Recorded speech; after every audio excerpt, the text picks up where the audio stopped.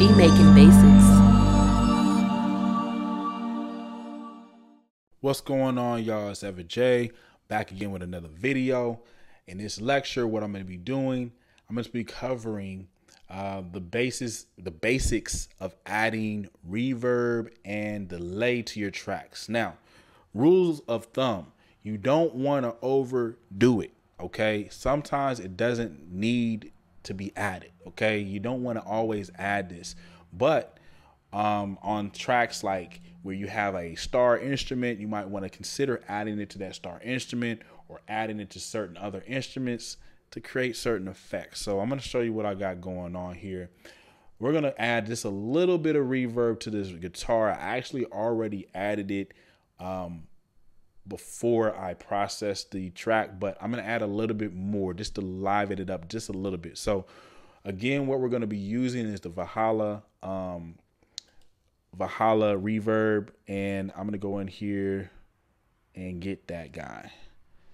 So we'll put them on here things to keep in mind with using this plugin this is the mix this is how much reverb and um, of effect is going to be going to this all right over here is going to be the depth like how uh like say if you're in a room all right let's say that you're in a dome uh you know the closer you are to like say the stage compared to how like farther away you are. So you're going to hear more echo with more depth compared to if you're right up on stage, you're not going to hear a whole lot of echo. You feel me?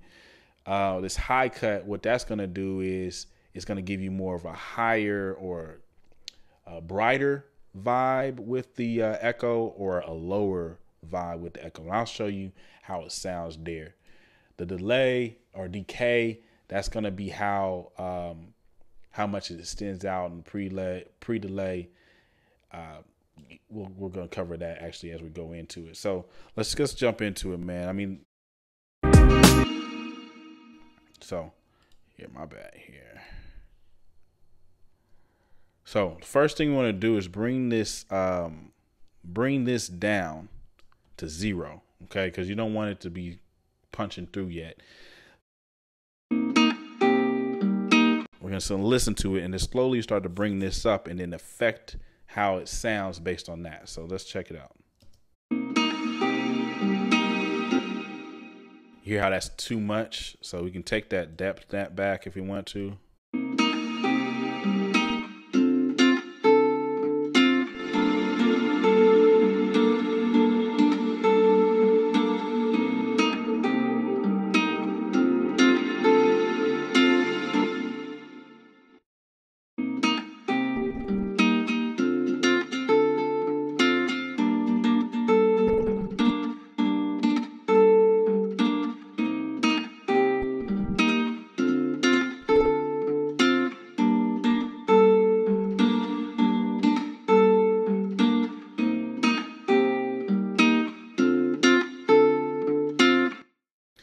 Basically with this, you want to pretty much play around with it to where you can hear the delay, but it's not overpowering it. Because when you put it back in the mix, if it say it's turned up too much, it's going to sound horrible. I'm going to turn it up and then turn it down. You'll see what I'm saying.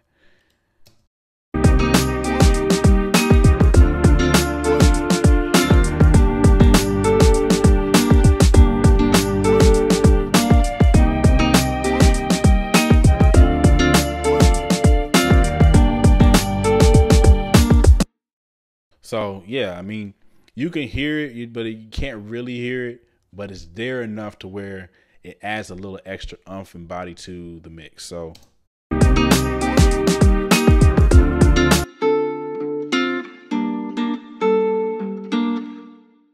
Again, if you wanted to, if you want the the sound to hold on longer and kind of echo and echo and echo, this this this decay is what you want to push up and down. The pre delay um, I usually kind of keep that low. You know what I mean?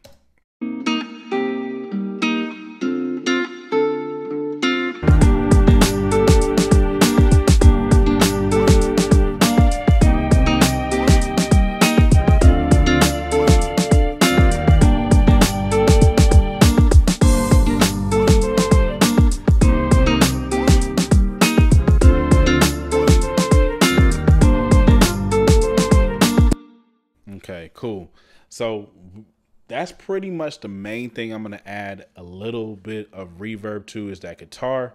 I don't want to overly add it to anything else. Like think about if I put it on the on the uh, on the flute too, you know, and then also this deep deep this detuned sample is it's just gonna muddy up the mix. So you were usually when it comes to uh, like the reverb, you want to pick like one or maybe two instruments that you would do just to kind of you know make it seem a you know just just add a little flavor to your mix. You feel me? So usually here a little trick here is you can add a little bit of reverb to your hi-hat. Um, you're gonna of course want to turn this pre-delay down and this decay down a little bit and even the depth down a little bit.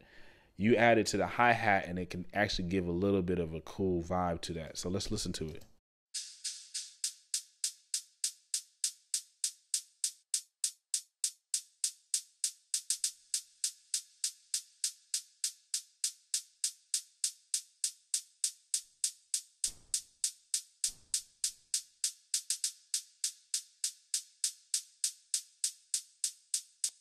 All right, compared to dry.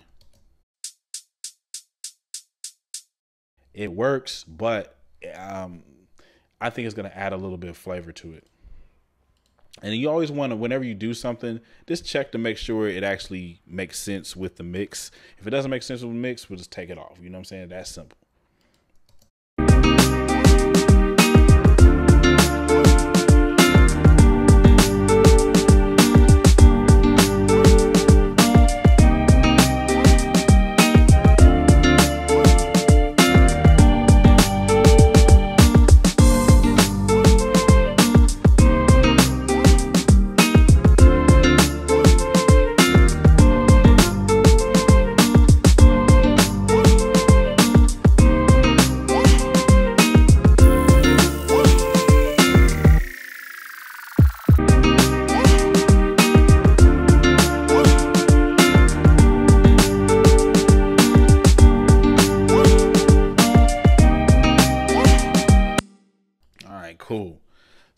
That's that's the reverb. Again, you know, it's there, but you don't necessarily hear it because it's not like overwhelming the track. But if like say if I was to take the delay completely off of these tracks, you'll see a difference. So like I'll take it off of that. I'll also take it off of here. Uh, what was it? The hi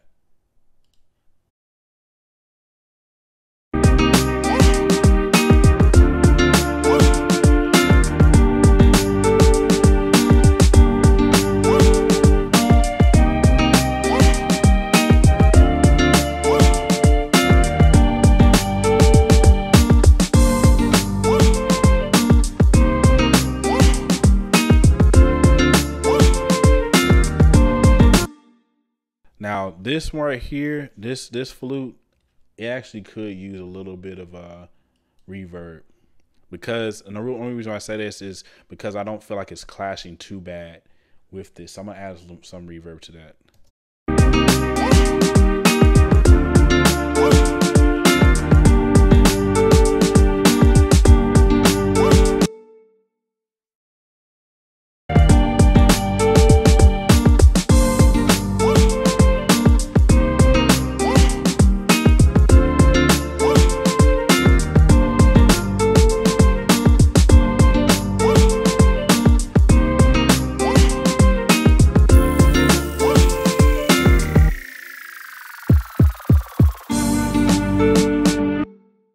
So let's talk about this reverb one more time. I didn't really get into too much detail on the actual plugin because I wanted to teach you the concept of it and show you that this is a real good sounding plugin. So, um, but a cool few things here. You can switch this from red to blue, kind of a cool thing. Um, you could also change you know, they have some little preset settings here. This, you know, again, it goes on some delays and, and just the effects of how that reverb is going to sound. You could also select some uh, reverb modes here. You got large room, medium room, bright room, different, different things like that. Be honest with you, I usually just use this large room because you can affect how that large room is going to sound by messing with the knobs. If you do want the reverb to just hit on certain frequencies, you can mess with this stuff here. Again, rule of thumb, keep things simple. All right, so the next thing we're gonna do is uh, we're gonna. All right, so the next thing we're gonna do is cover um, how to use the delay. Okay, again, this is something you want to use sparingly. Uh, you don't want to put it on certain instruments that like drag out or that are a little too busy.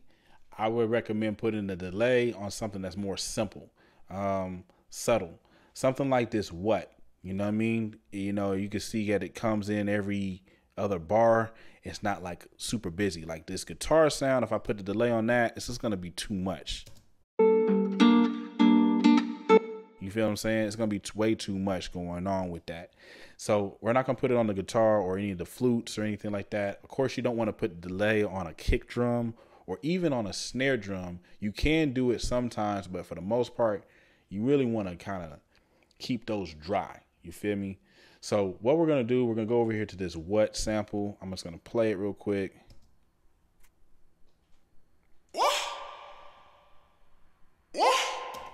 So I'm gonna add a little bit of delay to that. So what we're gonna do is we'll come down here to our audio units, waves, plugins, go to this H, and everything is actually, um, if you look at here, everything is alphabetized. So we can go to H delay, stereo, and this is what we come up with here.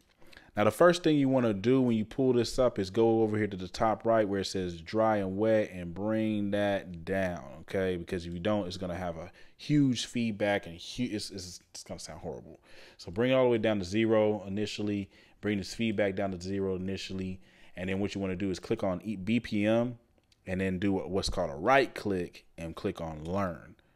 And then what you could do is you have this plugin open, you're going to just push play and it's going to learn the BPM of the actual session.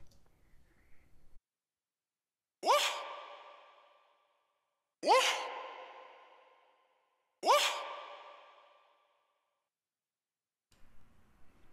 All right, cool. So once you do that, it learned it, you just click over to host and you're good to go.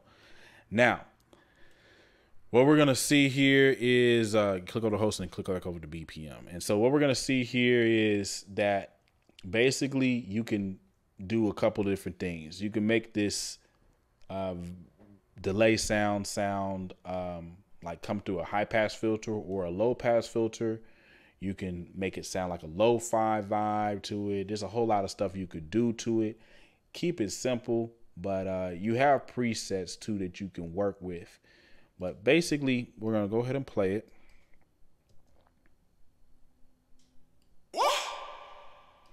Okay, so I'm going to bring that feedback up a little bit and then bring this wet in a little bit so you can hear it.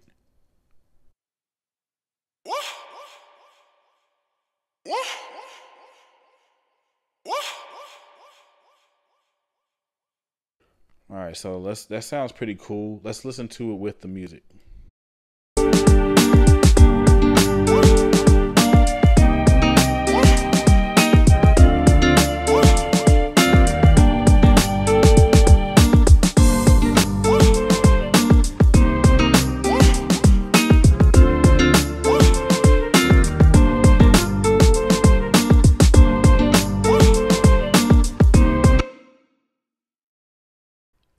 Pretty cool. Like I said, I can take some of this.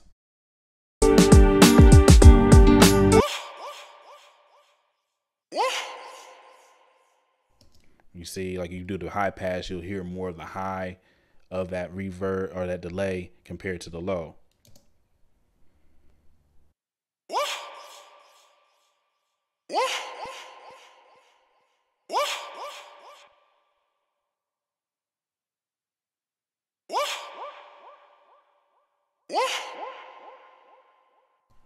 And actually, I like that sound because it actually sounds a little more cleaner that way.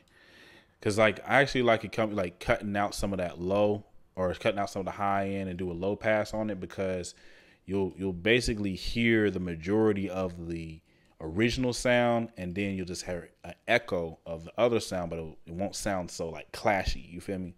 So let's just listen to it.